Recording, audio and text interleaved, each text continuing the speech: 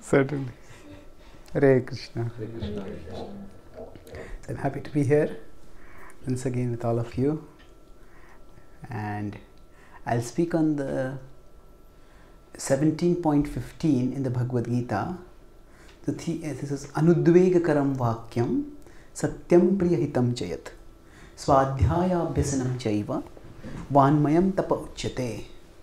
So Krishna says that austerity of speech means to speak in a way that does not agitate people's minds.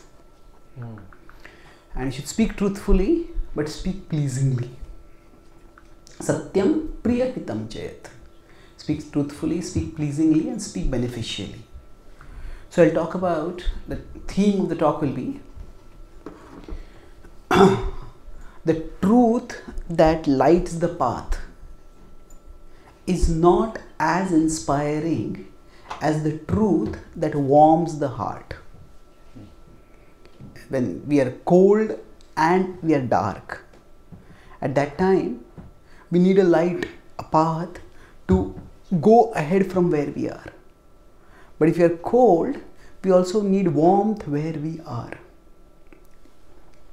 So there's a light, there's the truth that lights the way. This is this is not right. This is right. Move forwards. And there's a truth that warms the heart, that encourages and connects with people where they are. And especially in today's world, it is the truth that warms the heart which counts much more than the truth that lights the way. I'll talk about this in three broad parts. One is I'll talk about the contemporary intellectual ethos today's world. Then I'll talk from some scriptural examples and analysis.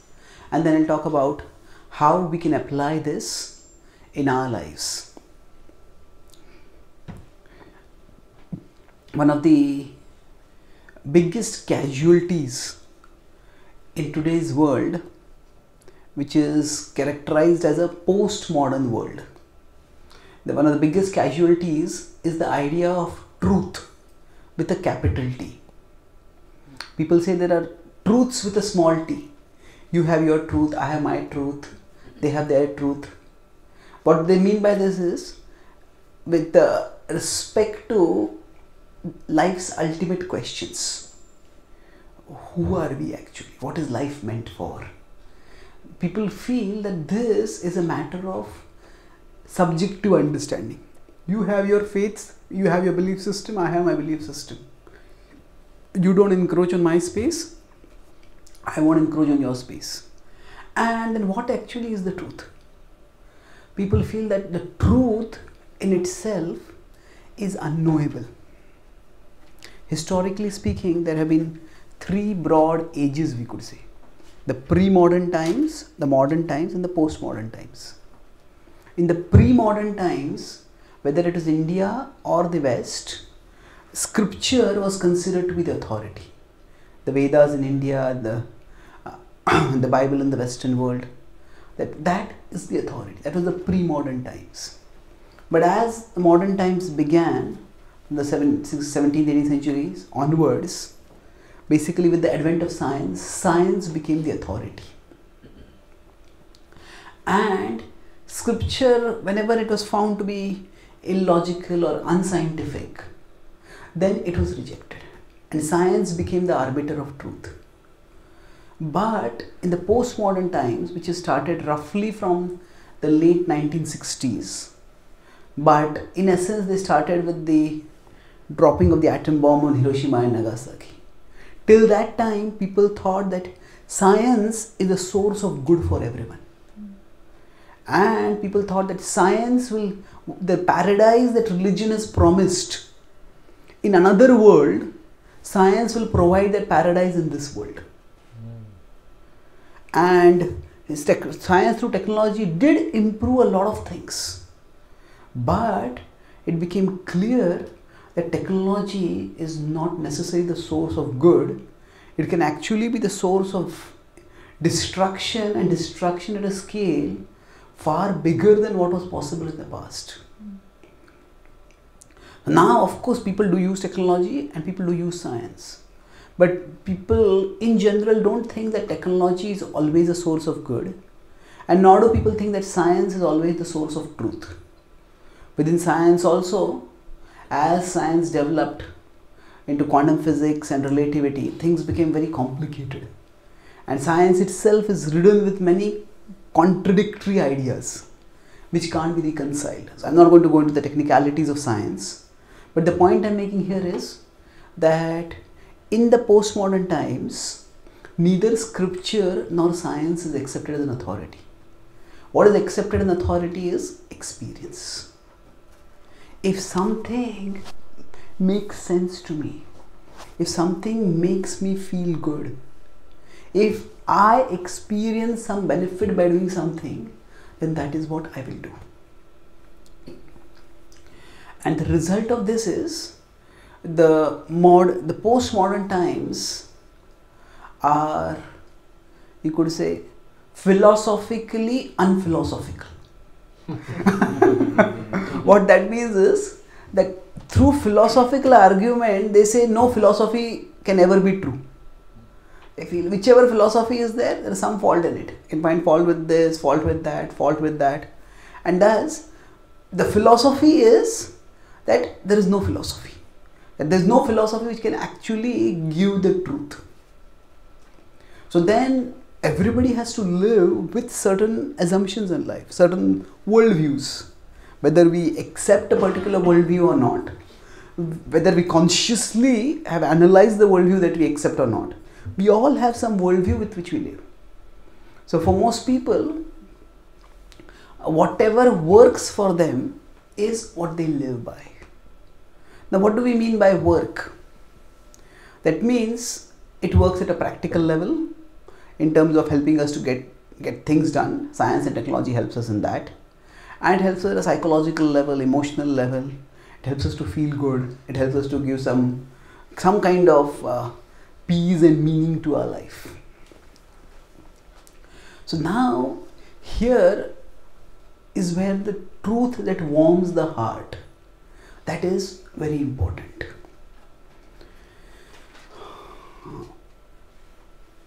Since I started coming to America, I got to talk with many Srila Prabhupada disciples. Because in India, we don't have so many Prabhupada disciples who are there, but America, there are many, especially in Florida and Alachua. So when I talk with them, uh, and many of them have had interactions with Prabhupada, and the, the most memorable aspects of Srila Prabhupada that they remember is not the logic of Prabhupada by which Prabhupada refuted some misconceptions. It is the personal interactions that Prabhupada had. It is the sweetness of the affection that Srila Prabhupada showed them. It, Prabhupada says in the Bhagavad Gita, in the Updeshamrit, that the Krishna consciousness movement is nourished by the sixfold exchanges among the devotees. Guhyam akhyati pruchati, that when we share our hearts and we hear others share their heart, dati pratigrahanati, we give gifts and we receive gifts. Bhungte bhojete chaiva. We take prasadam and we, off, we offer prasadam and we receive prasadam. So basically, these exchanges is what touched people's hearts. Prabhupada did give the truth, but what attracted people to him was not that he showed the way, but that he warmed the heart. Now, both are important, no doubt. But even if we know, okay, this is the way, Krishna is life's ultimate goal and this is the path. For most people, even for many devotees, Krishna appears to be a very distant reality.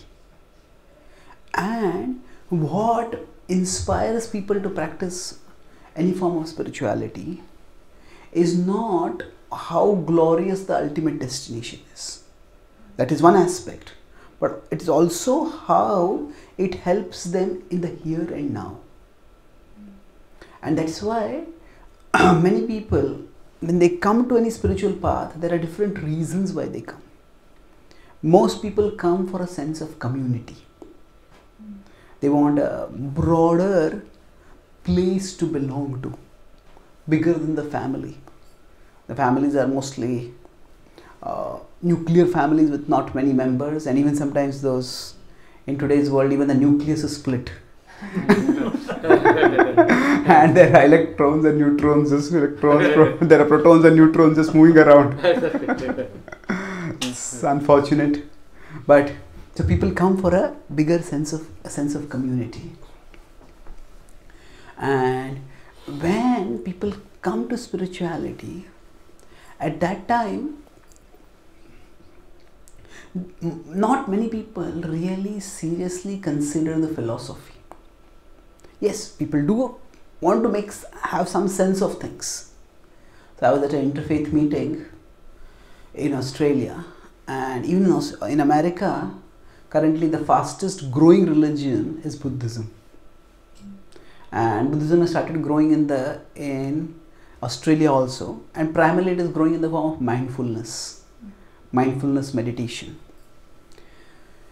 Now it's interesting that Buddhism is very determinedly a philosophical. That is, Buddha, he just did not speak much philosophy. Once he was asked that is the body the same as the soul? He remained silent. Is the body different from the soul? He remained silent. Yes. What is the relationship between the body and the soul? He remained silent. The person walked away. And his disciple asked him, Why didn't you answer this question? He said that he was not ready to receive the answer. So, whatever I would have spoken would simply have reinforced his illusion. So, he said that just forget ultimate questions, focus on your practical life, focus on improving your practical life here and now. And for many people, if we consider three modes tamas, rajas, and sattva, through breathing exercises, through some kind of meditation on some object, people can relatively speaking rise to sattva. And when they rise to sattva, they feel a sense of clarity, a sense of feel a sense of tranquility, a sense of illumination, luminosity in their lives, and that is much better than life in rajas and tamas. And for them, that is the shred of truth. That it's it's just a small shred of truth that they've experienced, but that is what attracts them most of our scriptures, if we see, are spoken with a presumption of a certain level in the audience. The Bhagavatam is spoken to Parikshit Maharaj, who is already a very devout king. He's living a devoted life of responsibility as a king and he is told now even forget that life of devoted responsibility in the world and focus on exclusively devoting yourself to the lord. So basically the scriptures raise some people from sattva to shuddha sattva. That's the primary target of scripture. Hmm. if we consider say the chaitanya charitamrita and the chaitanya bhagavat they say when Chaitanya Mahaprabhu descended to the world, there was so much degradation in the world. And interesting, what is Chaitanya Bhagavat's definition of degradation? If you see when Chaitanya Mahaprabhu came, at that time India was under Islamic rule, and many of the Islamic rulers were quite heavily persecutors. But Chaitanya Bhagavat does not talk about that oh, these Muslims were so destroying so many temples and that is our degraded condition. Mm. It says, what is the degraded condition? That people studied the Bhagavatam but did not glorify bhakti. That people bathed in the Ganga but did not chant the names of Narayan, names of Krishna. That people performed religious worship but only of goddesses like Shashti, not of Krishna. Now, today, if we talk about society is degraded, if we meet somebody who is worshipping uh, worshipping some goddess or somebody is actually studying the Bhagavatam. A very special person, say, isn't it? so, the Chaitanya Bhagavat is speaking at a level where it is talking about how people are performing dharma but they are not performing bhakti, Shuddha bhakti. So, from the level of dharma to raise them to the level of bhakti, that is the target of the Bhagavatam. And that is the target of even the Chaitanya Bhagavat and Chaitanya Charitamrita also. Now, this does not mean that sattva is not important. As compared to tamas and rajas, sattva is actually very important. One simple way to understand these three modes, sattva, rajas, and tamas, is that in tamas, basically there is action and there is contemplation. We think internally and we act externally. So, in Rajas, there is first action and then contemplation. Do it and then, hey, should I have done it? Should I have not done it? In Sattva, there is first contemplation and then action. In Tamas, there is neither contemplation nor action, there is simply delusion. So, for example, say some people just sit for hours playing some video games, watching some TV, not even thinking really what they are doing, nor are they doing anything. That is tamas. Or people just drink and are lost in their own world. That is tamas. Just running around doing things without really thinking about it. So that is rajas. So some people speak to express their thoughts, and some people speak to discover their thoughts.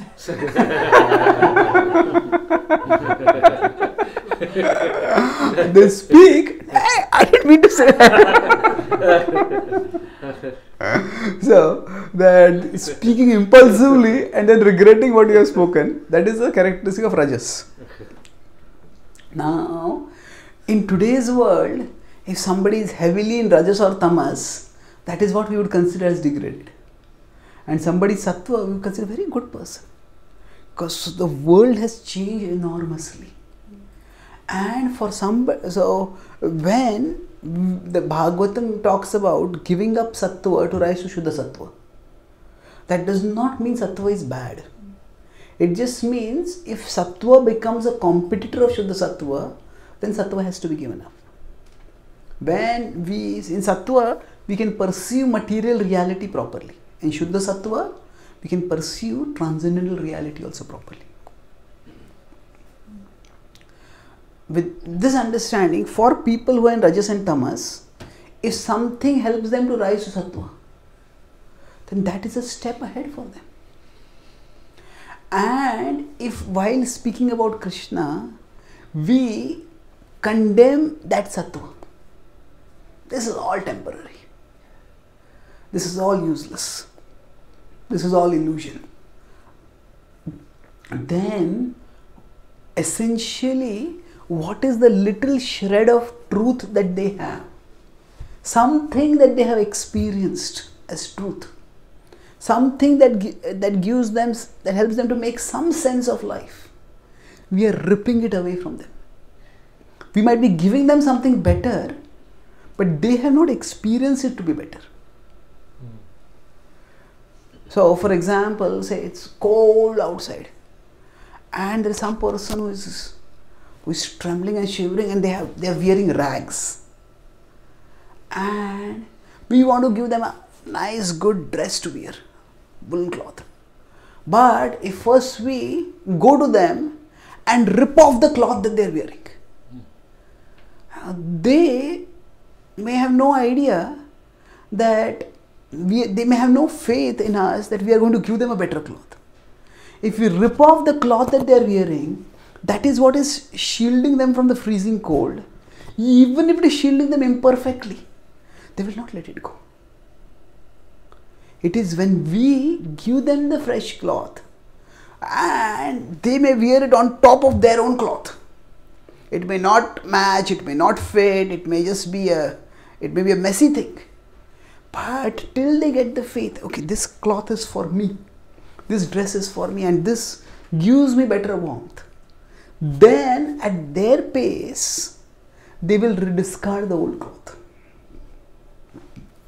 So, similarly, for people in today's world, whatever worldview they have adopted, whatever spiritual path they are following, whatever their whatever kind of practice they are doing, that give that may be that may be giving them some good feeling, something they experience by that.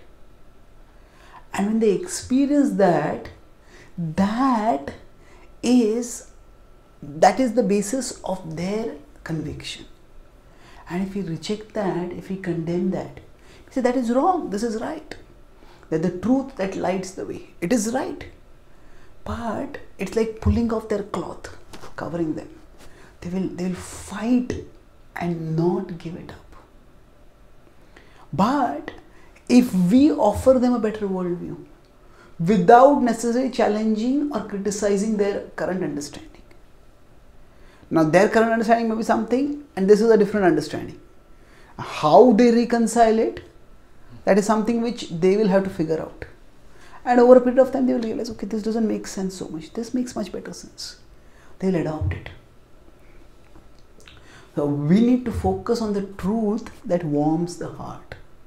That means the truth that helps people feel connected, the truth that helps people experience a better life, a better emotion in their hearts. But if something helps them to come to goodness, as I said earlier, people are one of the biggest things that people look for when they come to a spiritual path is a sense of connectedness a sense of relationships, a sense of community. And if someone comes to Krishna and if they find the Krishna devotees are very judgmental, this is wrong, this is wrong, this is wrong, this is wrong, then people just get very disheartened. But if we just, yes, this is how, this is what we do, this is how we do it. We explain things to people and people will take it up at their pace. And when this happens, they take it up not because somebody has convinced them, but rather they have themselves accepted it. They have experienced it.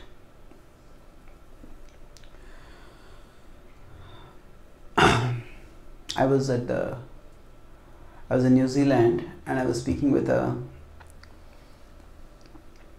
I did, I did a program over there in the Bhakti Lounge and after that uh, there are people who come with various different kinds of practices. So there was a person who came, he says, I've been practicing spirituality for the last 20 years. I asked him, okay, what is your spiritual practice? So he said, I have been practicing aromatherapy. so I said, okay, how is that spiritual? He says, aromas are spiritual. Aromas raise your consciousness to the spiritual level and there are different aromas which create different consciousness within me. And he's talking elaborately about this and that and that. Now, at one level, you could say aromas are just physical sensations, they're smells. Now, what, how much effect it is going to have? Well, there are some scientific studies which indicate that certain aromas may pacify the mind, certain aromas may help people in certain situations.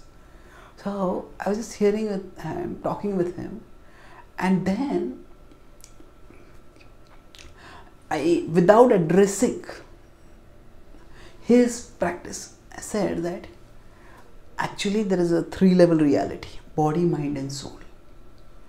And what helps us to realize our spirituality, to help us understand that we are the soul, that is spiritual. And what makes us feel good that can be spiritual, but that can also be psychological.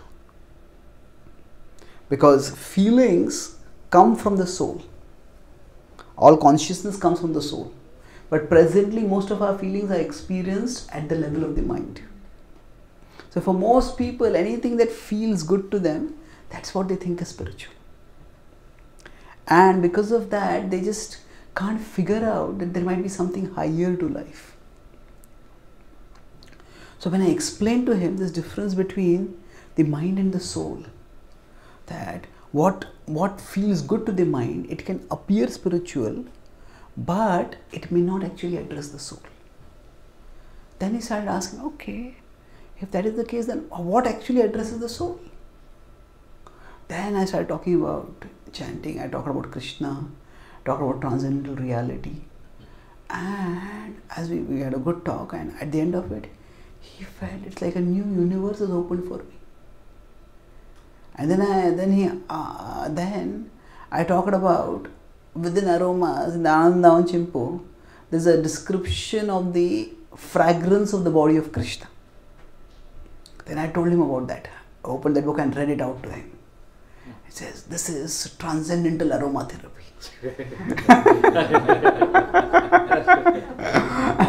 he, he loved it. so after that, the devotees were telling me that I was there for about a week, but I'm in touch with the devotees there. They said that you know, he has now started coming regularly to the lounge and he is asking more and more questions, becoming more and more committed. And in his own way, his aromatherapy was what was making him feel peaceful. It was making him feel calm, making him feel a little better. And instead of dismissing that, we acknowledge that and we take people ahead. So, this is what actually, when we challenge what people believe, at that time it goes into a confrontational mode. And once it goes into confrontational mode, people just can't make sense of things. Is this right? Is this right? Is that right? Nobody knows. How will people decide when they have no idea? In the Ramayana, when Vibhishan surrenders to Ram, at that time he has three options before him. Before he surrenders to Ram, he has tried his best to persuade Ravan, give up Sita and return and give up Sita and you'll be safe. But Ravan rejects him, knocks off his crown, condemns him. So he meets with his faithful four ministers and he talks with them. And says, Right now I have three options before me. One is that either I can create, I can instigate a insurrection, a coup in Lanka and overthrow Ravana. And then take the throne of Lanka and hand over Sita and thus I can avoid this war. And I can save the citizens of Lanka and the soldiers of Lanka from being destroyed. Second, he said, I can just abandon everything and go to the Himalayas, renounce the world of politics. Uh, I can say, I tried my best, but Ravana didn't listen to me. What can I do? But he said, the first option, he said, actually, I don't have enough influence to create a coup against Ravana. Because every Ravan, Ravan on one side had subjugated everyone by fear because he was so powerful and so demoniac. On the other side, he had also subjugated everyone by giving them prosperity. So people didn't have much complaints with. And even if they had complaints, they would not voice it. Second, he said, I am a member of the royal family and I have a responsibility to the kingdom. I cannot just renounce the kingdom and go away like this. So he said, the only third option for me now is that I go on the side of Ram and tell him that his enmity is not against the Rakshasa dynasty. And the entire Rakshasa dynasty is not against him. It is only some part of the Rakshasa dynasty. There are Rakshasas who are supporting him, who are on his side. And his enmity is only with Ravana and those Rakshasas who support Ravana.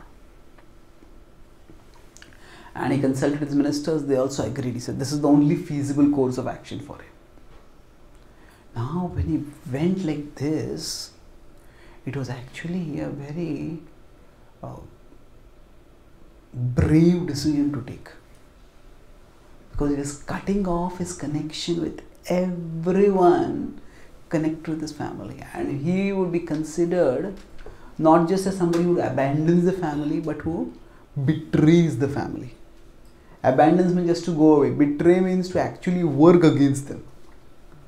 And Ravan was so cold hearted that eventually, when the war started, every night after the war would end, they would have war throughout the day, and the war would end. At that time, Ram would stay awake late into the night to perform the last rites of all the monkeys who would be slain in the battlefield. And at the end of the day, during the night, Ravana would tell his demons that all the demons who have been who have died just pick up their bodies and throw it far into the ocean. Why? He said, if by the next morning there are no Rakshasa corpses seen on the battlefield, the Vanaras will think that we did not kill anyone yesterday and they'll become discouraged thinking that their fighting is ineffective. So, Ravana exhibited the original use and throw culture. use the warriors for use the Rakshas fighting for his cause, and if they die, literally throw them away. So he was so brutal that even those who fought for him, if they died, he would cast them away. And if they if somebody betrayed such a person and the Vibhishan was his own brother, if, if he saw Vibhishan as a traitor, if somehow he would catch Vibhishan, oh, the kind of kind of agony, atrocity, torment, torture that he would inflict on Vibhishan would be unimaginable. So it was extremely brave decision for Vibhishan to come to Ram and when he came to Ram, at that time, there were uh, the Vanaras, they all saw him hovering above. He had a giant, he, had a, he was also a, he was also a warrior. So he had a giant Rakshasa body. Seeing him uh, hovering above the Ram, uh, the army of Ram, they all became alarmed. And they started discussing, who is this? Why has he come here? Although Vibhishan announced his intention, he said, I, have, I am Ravana's brother, I have come to surrender to Ram. But the Vanaras did not believe him. Said, maybe he's a spy. How can somebody give up one's own brother and come like this? If today he has given up his brother and come, what is the guarantee tomorrow he will not give us up and go back to his brother? So, like that, they were discussing.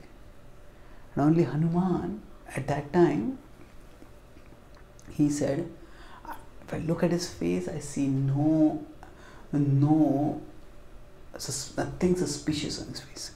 I see the transparency on his face. And then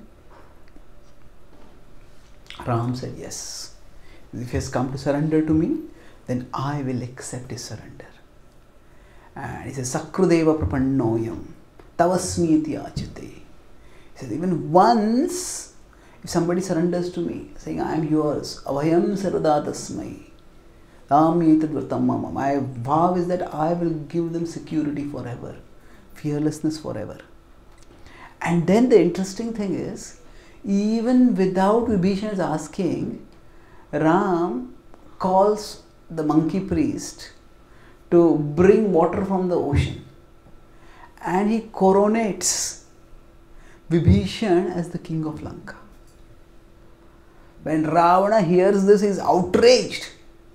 He is, a, he is outraged. How dare? What it implies is that Ram is so confident that Ravana is going to die, and Ram conveys by this to Vibhishan that he has no intention to destroy Lanka.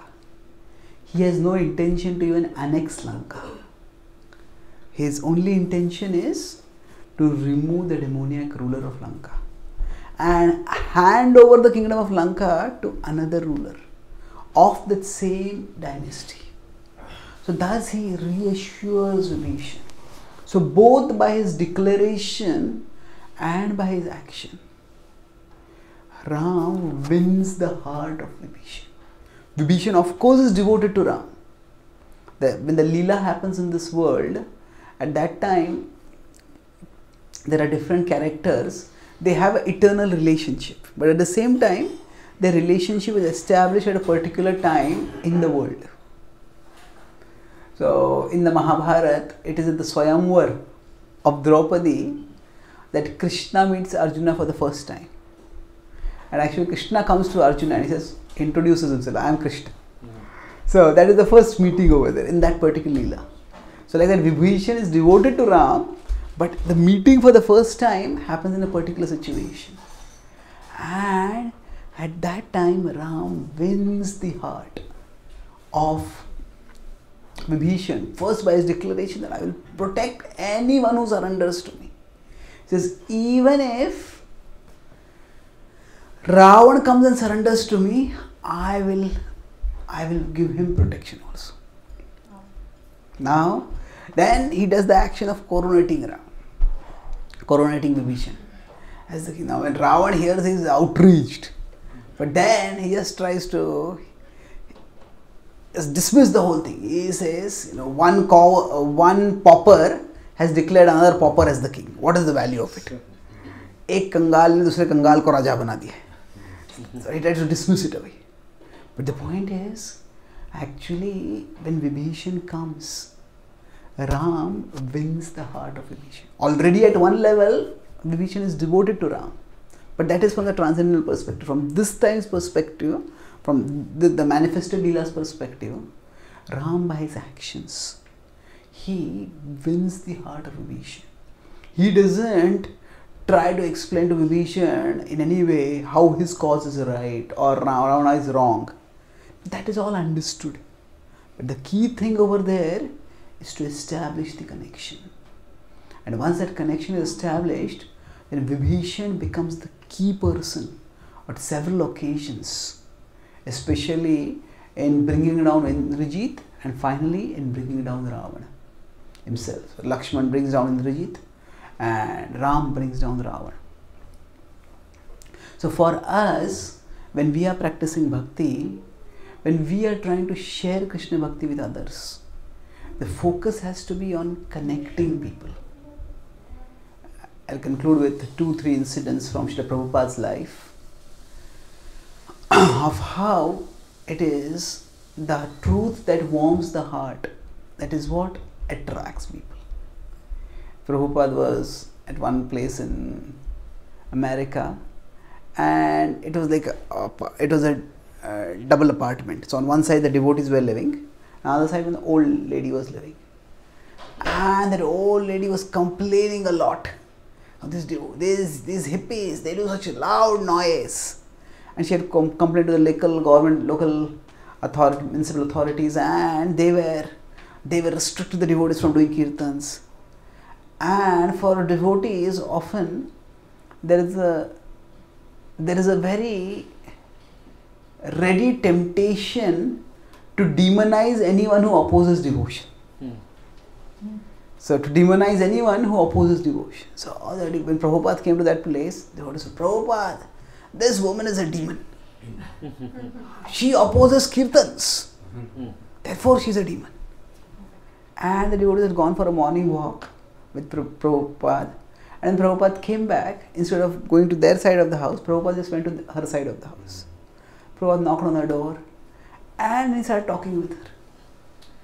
And for almost 15 20 minutes, Prabhupada was just talking typical old people talk with her. How are you? Where are your children? What are they doing? Are they married? This, that. How is your health? And the devotees were waiting. When will Prabhupada talk about Krishna, chanting Hare Krishna, you are not the body, you are the soul? Prabhupada did not speak anything like that. And then finally, Prabhupada just uh, greeted her, wished her well, and came back. And when he was coming back, the devotees had a big question mark on their face. what? And Prabhupada just looked at them and said, Old people sometimes become lonely and when they are lonely, they become irritable. And That's all Prabhupada said. And Prabhupada left. And after Prabhupada left, that old lady came to meet the Jyoti. Swami was such a nice person. When is he going to come back? I enjoyed the talk with him. And then she actually withdrew the complaint against the against the devotees. And the devotees were able to practice bhakti very nicely. So Prabhupada brought this lady closer to Krishna without speaking even one word about Krishna. Or at least he stopped her from going further away from Krishna by stopping Krishna Kirtan just by his human kindness. Not so much by his. She didn't appreciate Prabhupada as a saintly person. This is a nice old man. So we have to focus on connecting with people. And to the extent we can connect with people, to that extent they will connect with Krishna through us. Now, of course, Prabhupada was strong and cutting also, but it is according to time, place, circumstance. There is uh, the book of Srila Prabhupada, Perfect Questions, Perfect Answers. So, the person with whom the interview happens and that the discussion happens, that's Bob Cohen. He's a senior disciple of Prabhupada, now Brahmatirtha Prabhu. So, he meets Prabhupada and he tells Prabhupada, Prabhupada, I am a vegetarian. Now, at that time, when now vegan is, becoming vegan is quite cool. In 1960s, it was quite extraordinary for somebody on their own to become vegetarian. And Prabhupada says, so what? Even monkeys are vegetarian. Monkeys, he starts thinking, really? Monkeys are vegetarian. Because the real thing is to offer your food to Krishna. Uh, this is one aspect of Prabhupada. There's a well-known tennis player, Peter Burwash. He met Prabhupada and Prabhupada told him that you're already well known, use your fame to raise people to a higher consciousness. So he, based on his interaction with Prabhupada, he focused on giving a generic spiritual message by which people at least give up meat eating, at least give up that gross sinful activity. And that's what Prabhupada encouraged him to do. Because he had a mass influence, and with that mass influence, he could raise people's consciousness from where they are to one level up. So, for somebody who can rise from being vegetarian to becoming a devotee of Krishna, at that time we do need to speak strongly. But Prabhupada already, by his conversations with Brahmatirtha Prabhu, Bob Cohen at that time, he already developed a personal connection. And when Prabhupada spoke strongly to him, that did not make him feel rejected. That made him, it was like a jolt, but it illuminated him.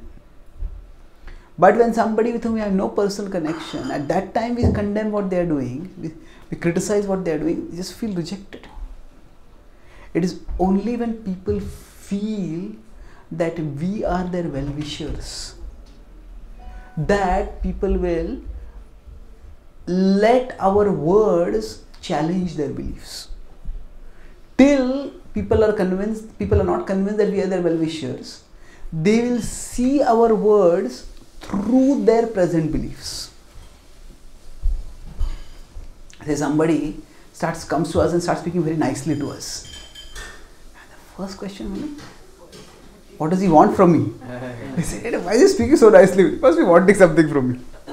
Now, if somebody has always been nice to us, cordial, polite, sweet, then we understand that this person cares for me. That's why this person is so nice with me. And then we don't suspect at that. So basically, we are here, this person is here. And in between us and them is their belief system, is their worldview. That may be right, that may be wrong. But when we challenge that belief system, what happens is because that is their belief system, they feel threatened by it. It is only when they are convinced that we are well wishers, then they will be ready to re examine their belief system. Otherwise, instead of re examining their belief system, they will examine us through their belief system. and they'll simply, this person is so judgmental, so narrow minded so self righteous and they will just reject us. So Prabhupada, according to Desha Kala Patra, according to time, place, circumstance, guides whom to elevate how. And that is vital for us even in our relationships. I was with uh, one one devotee who has worked for a long time with a very well-known senior devotee. I was talking with him about his experiences, and he was saying, uh, with, while working with that senior devotee, he said that he's a wonderful person to admire from a distance.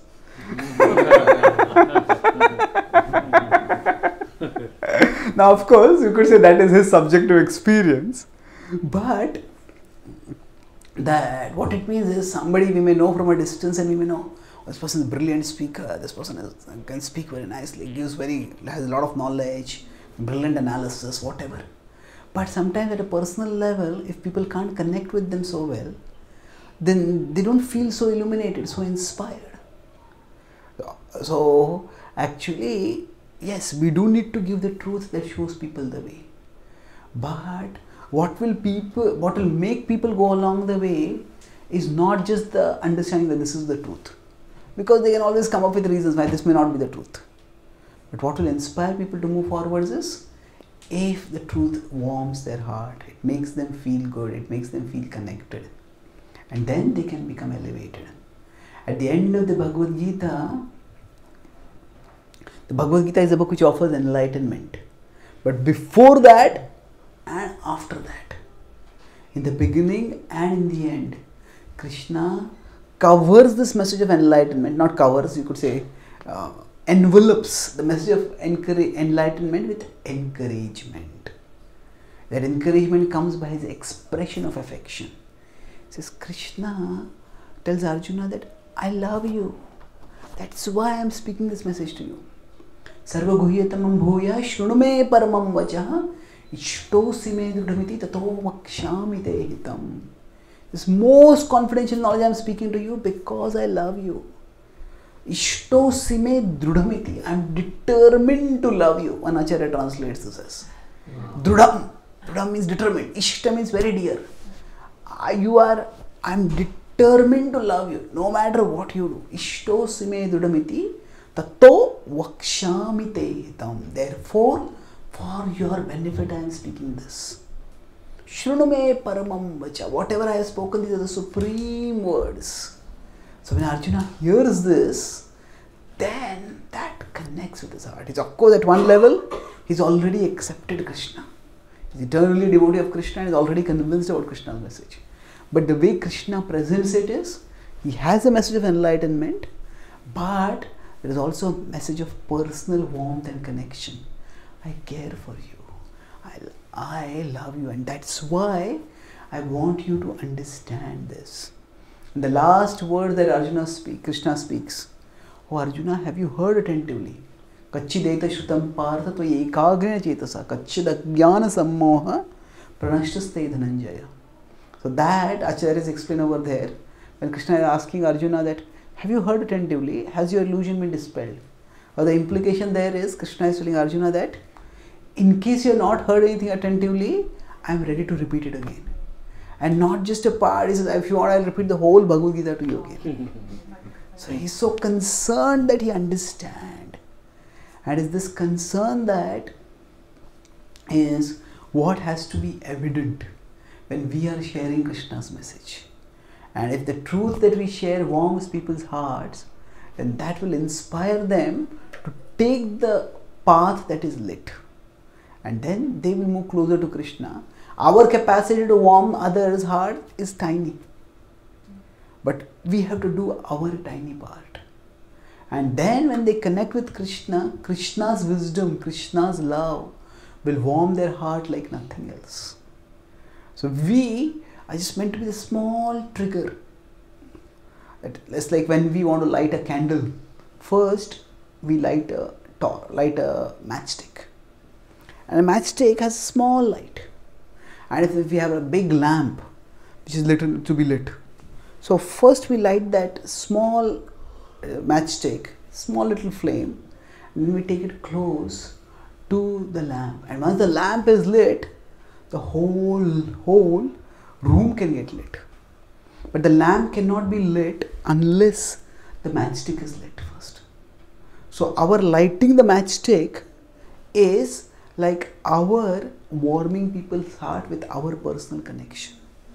And then when people practice bhakti, that is their connection with Krishna. And that is like the big lamp being lit. And then their life becomes clear for them and they move forward steadily towards Krishna. So I'll summarize. I spoke on the theme of the truth that lights the way is not as important as the truth that warms the heart. I started by talking about how truth is a big casualty in today's postmodern world because people feel that how do you know something is true? In the past, people accepted scripture as authority, that's post pre modern times. Modern times, people accepted science authority. In postmodern times, people are skeptical about science capacity to give the truth or our technology's capacity to do good always. They use science and technology, but they don't rely exclusively on it. So the only source of truth people feel is experience. And because different people's experience is different, so they say there's only truth with a small t. Your truth, my truth, everybody else's, everybody, different people feels truth like that. So in such a situation, when we are to share the truths of bhakti, we have to do it in a very uh, sensitive way. And for people, our most of our bhakti scriptures focus on raising people from goodness to transcendence for a king who is devotedly doing his kingdom, now focus on just exclusively remembering Krishna. For people who are already doing Vedic Dharma, now practice Parabhakti. So, because of this, goodness sometimes becomes trivialized in our scriptures. But there are many other scriptures which talk about the importance of goodness, of Sattva. And for in today's world, most people are in Rajas and Tamas. And if they rise to goodness, it makes them feel good it makes them feel peaceful and that's why they take it up even if it doesn't make it doesn't make a lot of sense philosophically to them it just feels good to them so today's intellectual ethos is philosophically a philosophical? Unphilosophical. Don't bother about any philosophy. And that's how buddhism is popular. Although it doesn't have much philosophy but because it offers practices that help people to come to, to become more mindful, to come to sattva, they feel good. And if we challenge people's truth, then it is like a person in the cold wearing rags and we pull away their rags. They will resist vehemently. But when we offer them a warm cloth, irrespective of whatever rags they have, we just tell them, the, share the truth of bhakti with them, and they start experiencing it. This really warms me much better then they become more open to understanding and then they will eventually give up that rag when they see this is this warms me much more so for us connecting with people at a human level so that they can connect with krishna at a spiritual level that is the first step i talked about how prabhupada himself did that even without speaking about krishna he brought people closer to krishna at times Sometimes he said vegetarianism is not enough, sometimes he says vegetarianism is important. So I talked about how Ram, he won the heart of Vibhishan by both his loving declaration and his loving action of coronating Ram, uh, uh, Vibhishan as the king. And for us, when we are practicing bhakti, or we are sharing bhakti, we have to focus on not just showing the, what is the right thing to people, but also warming their heart by our warmth, by our human connection. That is like lighting the matchstick. And then from that matchstick, the huge flame of Krishna's love, of Krishna's wisdom will illumine their hearts and their lives. Thank you very much. Hare Krishna. Hare Krishna.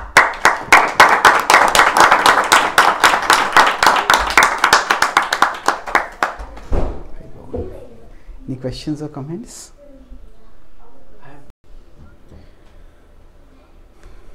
So why is there negative connotation associated with Vibhishan? There are that way I have not seen many people naming their child as Ravan also. Isn't it? That, that's like, like out and out, out, out, out and out demon. Okay. Yes. I appreciate this point. See there are two things over here. In general, most people uh, like to see things in terms of black and white. That is the normal human tendency. This is right, this is wrong. And wherever shades of grey come up, people are uncomfortable. And when those shades of grey come up, it's very, it's the relatively easy thing to do is just to put it in the white category or the black category. And where will you put them? That that is determined by the cultural ethos of the particular people who are there. Now, in general, in India, if you consider there are two levels of dharma, there is aparadharma and there is paradharma. Aparadharma is material religiosity. That means the idea that we should take care of material responsibility properly, we should do some religious activities so that we can better take care of our material responsibility. So, for example, many people think, many Indians in general think that their dharmic responsibility is to take care of their family, make sure that their children are educated, to make sure that children are well settled in family life. And this is important, no doubt. And in the Western world, people are not even doing that. So, definitely it's important. But at the same time, this itself is not spiritual. Prabhupada says that even animals show affection to their loved ones and it is natural and necessary, but it is not spiritual. So, uh, many of Prabhupada's Hindi lectures are on the theme of rising from aparadharma to paradharma. And in that context, he speaks about how aparadharma, material religiosity, is inadequate. But most people are at the level of aparadharma. And therefore, when somebody gives up aparadharma to do paradharma. People can't accept it so easily. That's why, from the point of view of paradharma, from transcendental religion, paradharma means just wholeheartedly devote yourself to the Supreme Lord. So, if both para and apara can go together, then people are happy. But if apara has to be given up for para, people become very uncomfortable people so Vibhishan when he gives up his brother for serving Ram that people find questionable Hanuman he's serving Ram. Is wonderful Ram, Hanuman is wonderful bhakta. If somebody practices bhakti in family life in a pious society it's considered very good. Oh you are bhakta also. But if somebody renounces the world and becomes a brahmachari or sannyasi to practice bhakti why are you giving up all this? There's often quite vehement opposition to it. So, so what happens?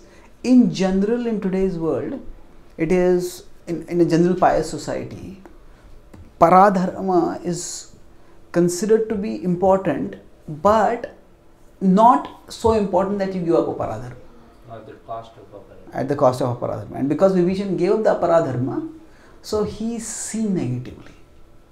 And although he surrendered to Ram, but the fact that he fought against Ravan that is held against him. Now in the Mahabharata also there is one of the Kaurava brothers Yuyutsu who fights against the Pandava, uh, Kauravas. But he is not a very significant factor. He does not know any inside secrets. He is not a big warrior. So that's why there is not much negative association with him. But Vibhishan, because he was very close, he was one of the brothers of Ravan, and he knew the inside secrets which he gave to uh, Ram and Lakshman. So that's why he is considered sometimes a, like a betrayer. But it was not that he bit. I have, as I mentioned, this, I written a book on the Ramayana. So that elaborately one essay analyzes whether Bhishan was a betrayer of his race or whether he was a protector of his race. Actually, it was Ravan who betrayed his race by uh, just for by he's a king meant to protect his citizens but just for his because of his lust for someone he was ready to endanger all the citizens and all his warriors. And he fought a war which is destructive. He knew that he did not have protection from humans and monkeys. He knew he had already experienced the power of ram when you know when in Janasthan Ram single-handedly destroyed his entire battalion of 14,000 warriors. So he knew and yet he, court, he abducted Sita and courted that war. So it was Ravan who betrayed his own kingdom and his own citizens.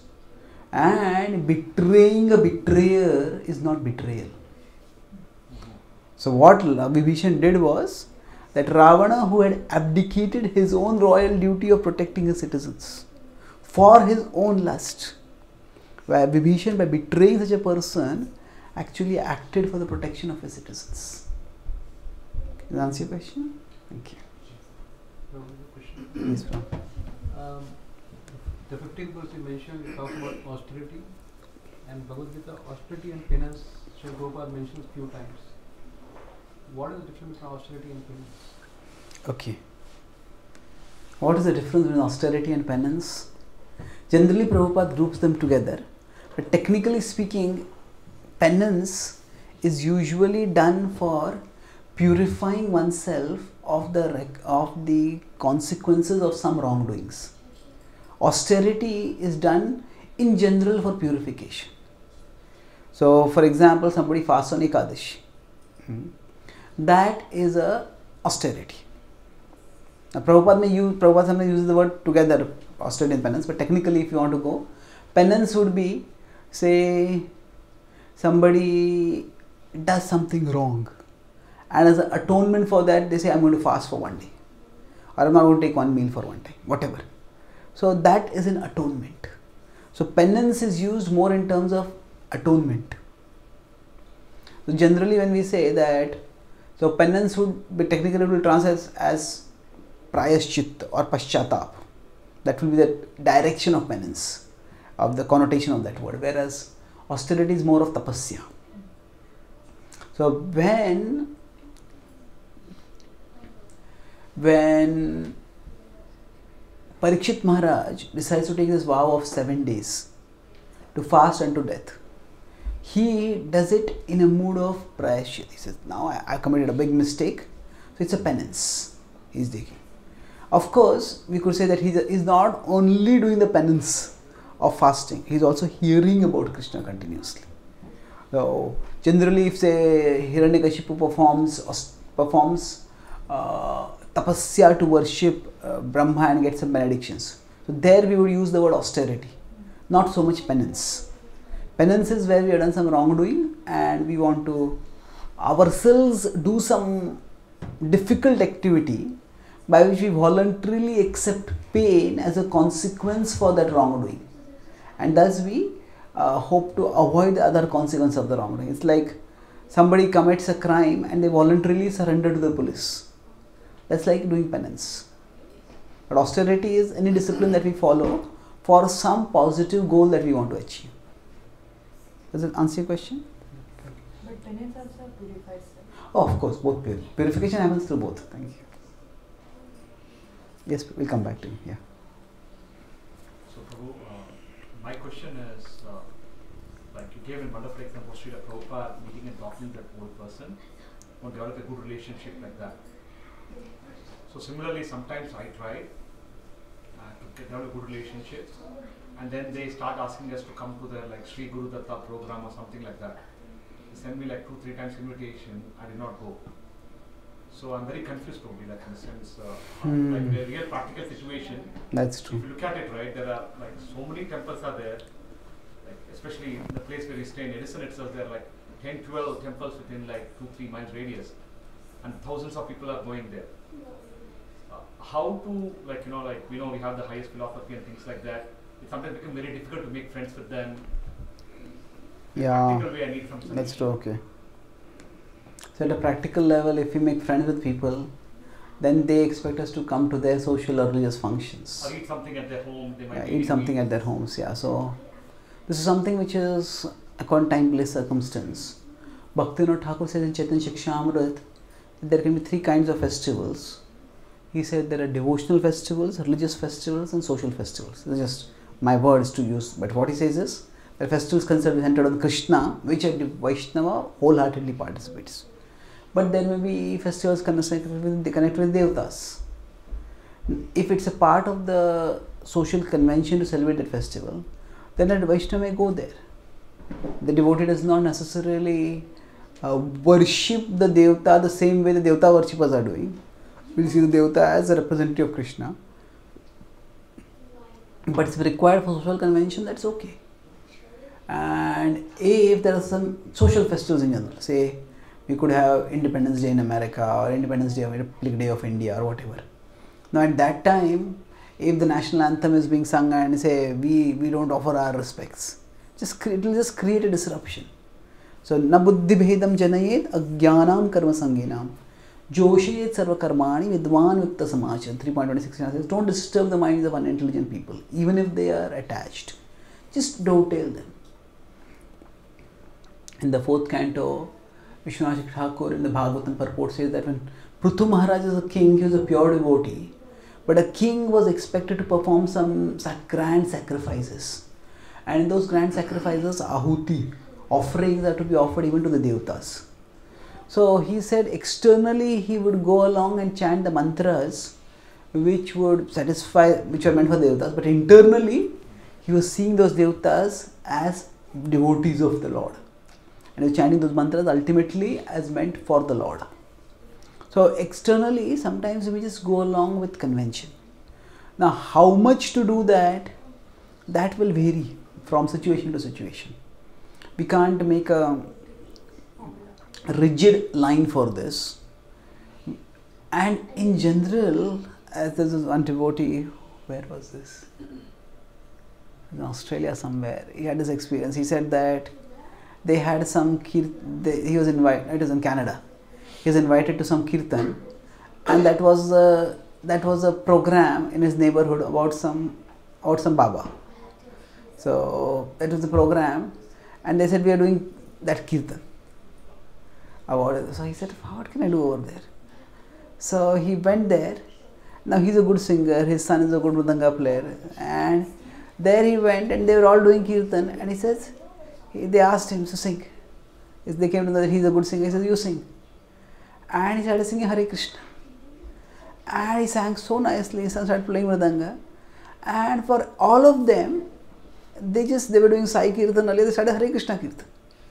And then different people started doing different, different Krishna bhajans. And it just became a complete Krishna glorification program. So, in general, people when they come for a religious occasion most indians are not very most indians are there, there is what is called as orthodoxy and orthopraxy orthodoxy is doxy is belief or philosophy and praxy is practice what we practice so indians are many indians are very religious but they are not very particular about the object of their religious worship. Many times people will come to a temple, they will close their eyes and pray, and they will go away without even thinking who is there on the altar. Somebody is on the altar, let's pray to him. it's like that. So, therefore, most people Uh, don't have any objection to worshipping Krishna as God. They might be doing their own kirtan if you start Krishna, they won't mind it. It's only when we say only Krishna is God that is where they have a problem. But it is not that that is something which we have to tell right in the beginning. Even in the scriptures itself, there are the worship of the devatas that is given. And there are people at a particular level who can take up a particular kind of worship. So we don't have to be we don't have to be in that mode of rejecting others when they are doing other things. Now, specifically, how much we can get involved in what, that we have to see our services, our schedule, uh, schedules, and then we can plan accordingly. But we don't have to have make it a principle that you can't do this. There was even with respect to eating food. In general, if we tell properly that this is the, I don't take onion garlic or whatever, people don't mind it so much. But in public, if we just reject or condemn their food, that is where the problem comes up. So we can just take some food which is in harmony with our principles. There's that well-known incident when I think there's a Gujarat in Gujarat there's a Gujarati lady who invited Prabhupada for uh, for the house for and the family had invited, and they had cooked nice food. Uh, I don't know Gujarat. It was North India somewhere. So then, that they had cooked with onion and garlic in it. And then Prabhupada, the devotee said, Prabhupada, there's onion in this. Prabhupada said, there's no onion in this. Prabhupada said, no, there is onion. Prabhupada said, there is no onion in this. Said, There is onion here. Prabhupada there is no onion in this. And Prabhupada just took that food. And Prabhupada took that food, and then all the devotees of Prabhupada taking the Prabhupada took that, they all took the food.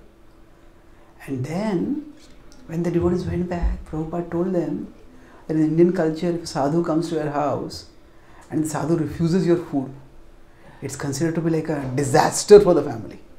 So he said, It is our mistake, we did not tell them that we don't take onion garlic. So Prabhupada took that food at that time. Now, this is not meant that we should anyway take onion garlic any time.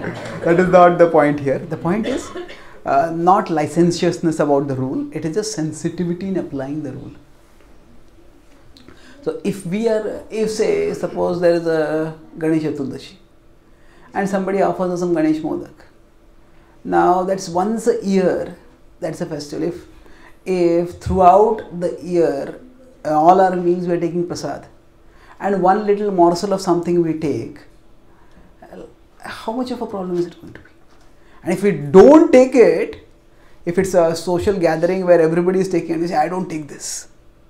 It can unnecessarily create a lot of trouble. So basically, we have to have, Prabhupada writes in the 10th, can, 10th chapter Bhagavad Gita purport, intelligence means to see things in their proper perspective. To see things in their proper perspective means to understand which rule is how important. And okay, this rule is important. We want to take prasadam. We want, but but how important is that rule? Is the rule of taking prasad so important that you know, we can just uh, hurt people's sentiments? Now, of course, this doesn't mean that every time people offer us some food is not offered, we'll take it. No, but there are certain times when we have to act according time, place, circumstance. So we don't want to become casual about our principles, but at the same time we don't have to be fanatical about our principles. So that that balance that comes when we have a sense of perspective. Perspective means what is more important, what is less important. In some situations, if it's just we are going along in a train and somebody off on a plane and somebody that person offers us a modak, we may say no, you just give some reason and not take it. But if it's a close family gathering where there are people with whom we are going to relate regularly, at that time saying no can create a, whole storm in our social circles. Then why do that at that time? So that sense of perspective comes when we are clear about what is more important and what is less important. So with it, On the same point, Prabhuji, Hmm. Modak itself, uh, like, uh, so you're saying Krishna devotee should not accept it, or like, in the sense, in reality? I'm saying that it's just uh, something which we have to decide practically. Not if you're alone or something, somebody gave to your home or something. Yeah, we can take it and we can honor it later, or we can give it to somebody else, or we take it little bit. It doesn't. It, it's it's not a catastrophe. It's not. It doesn't have to be like a fanatical principle that I will ne- I will die, but I will not take this. It's not like that. It's it's whatever is required at that time we do it. It's if we can avoid it gracefully, that is good. But if it's going to cause a lot of disruption, then just do the needful over there. Oh, one, one last question if you don't. Yeah. And with respect to this, again, there is no, see, these are, I would say, there are principles and there are preferences. Some devotees may feel "Oh, food is so important, and this is what shapes my consciousness. They may be very, very rigid about the rule. We can respect their firmness, but whether we have to follow that firmness in our life, that is something which we have to see based on our nature, our relationships, our priorities.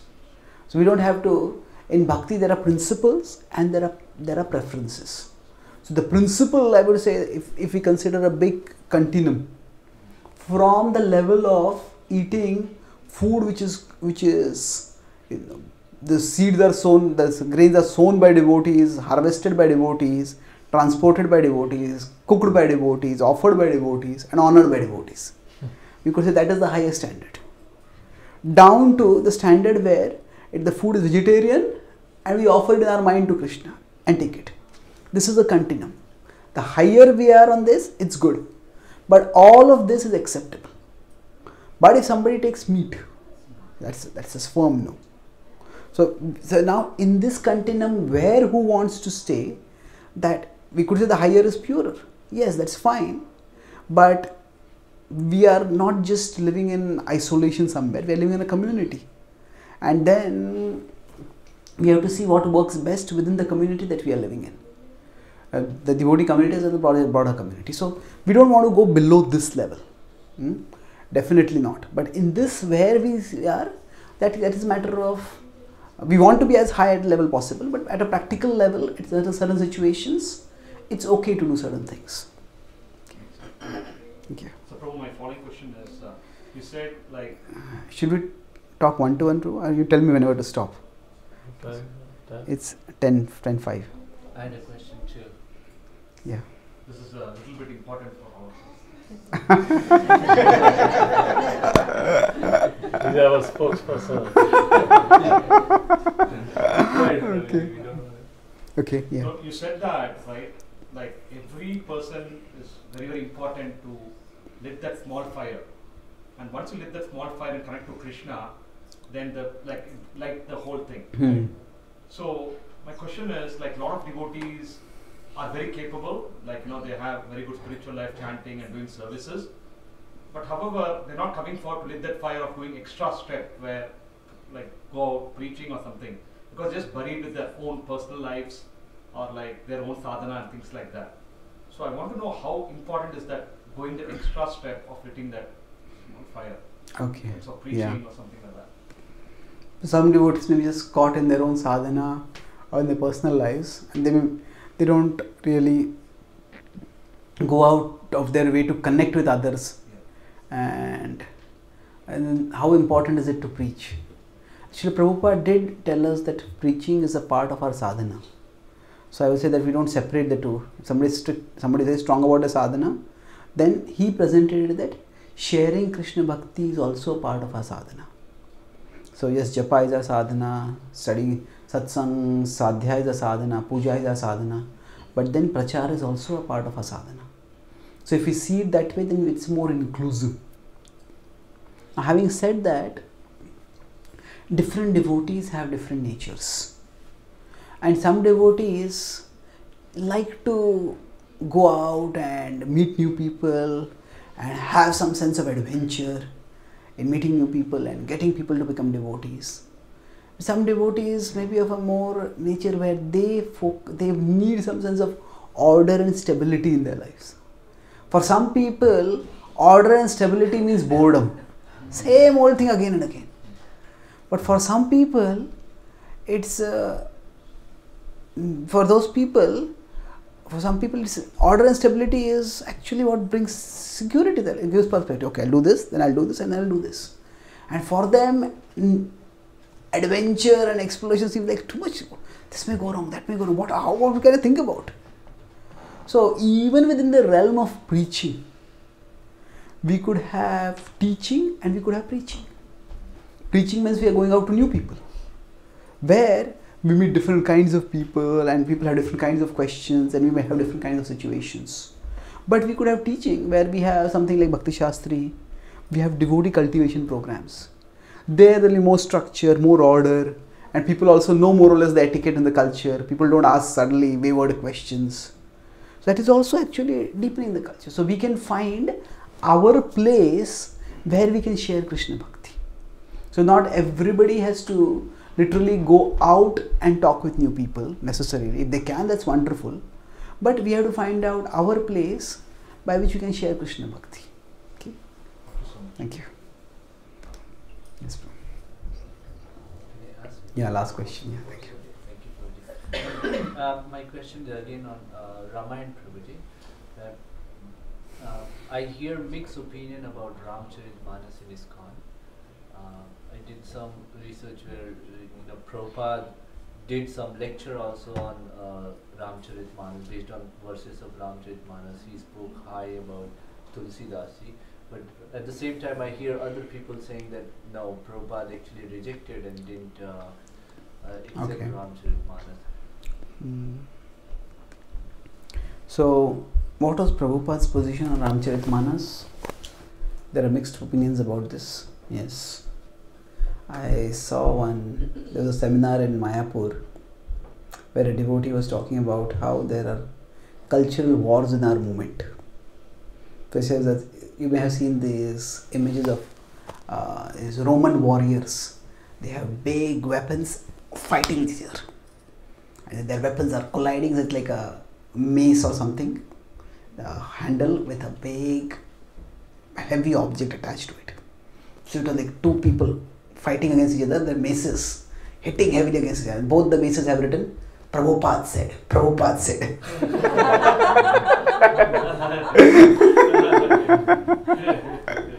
so,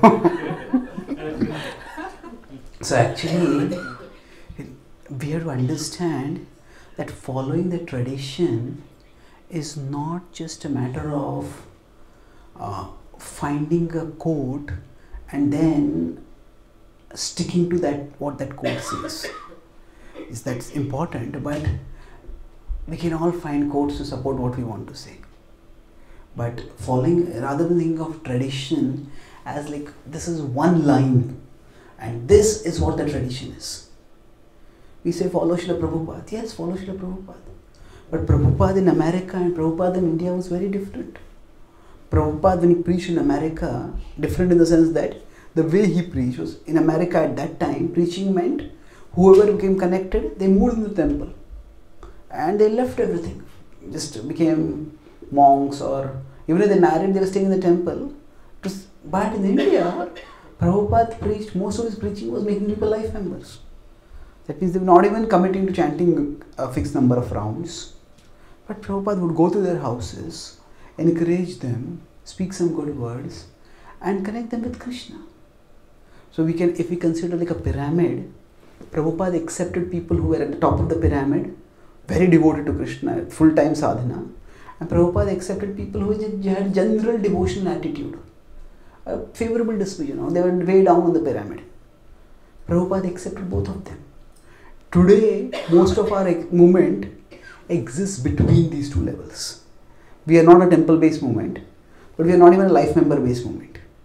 We are a congregation based movement. So the dynamics of the demography has changed and has, has changed enormously in today's world.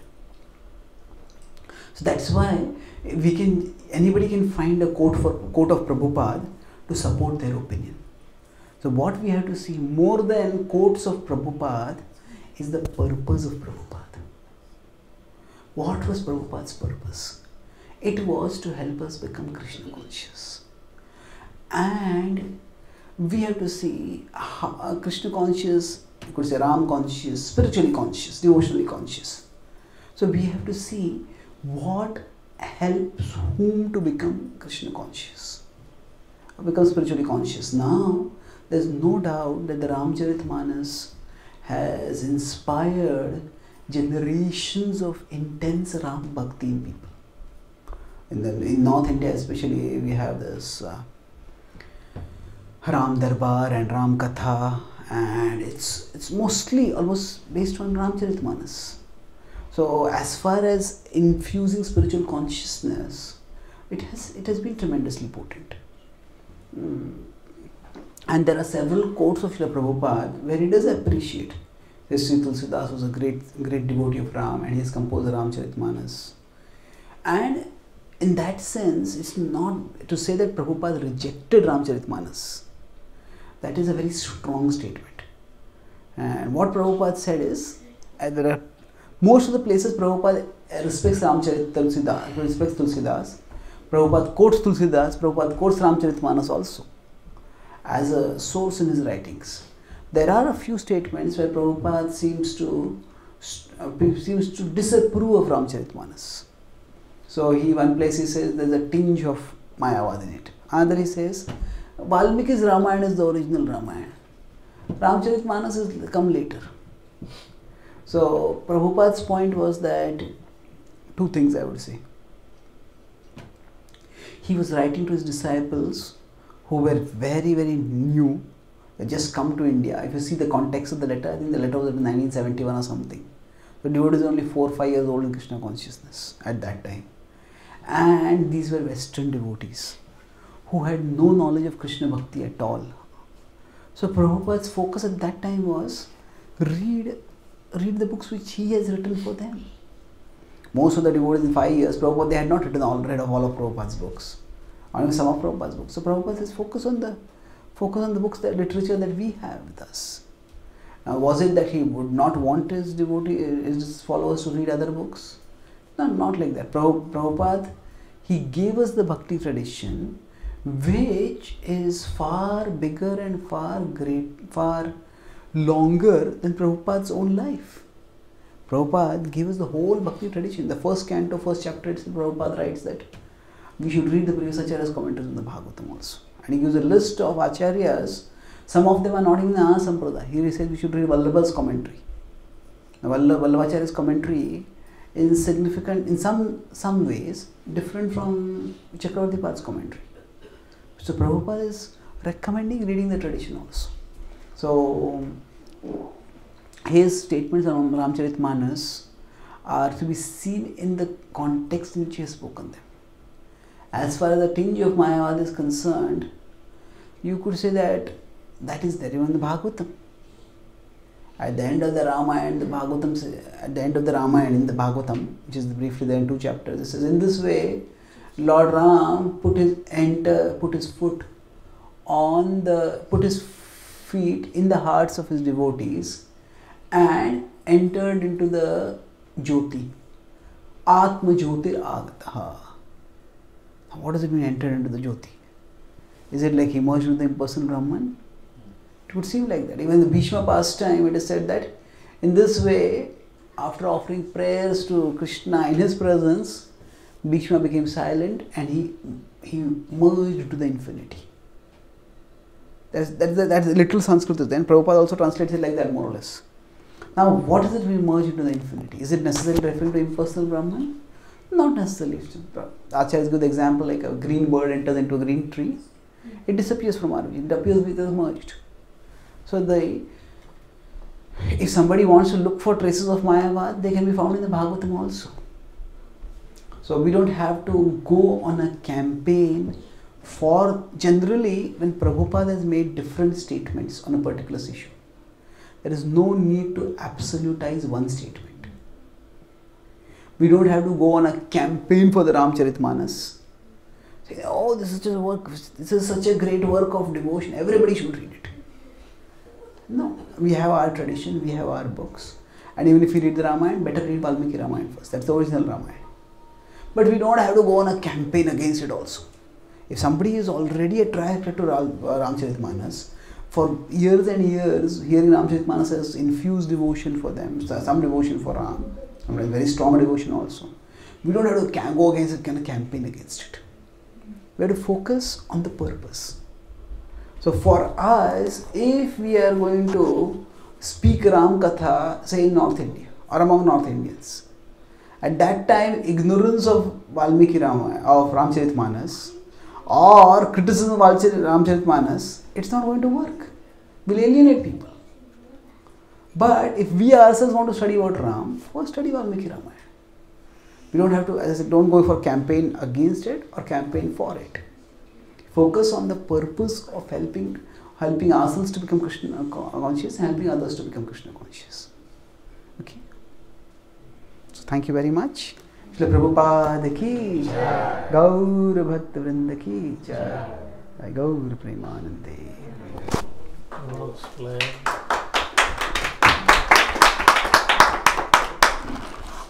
Please.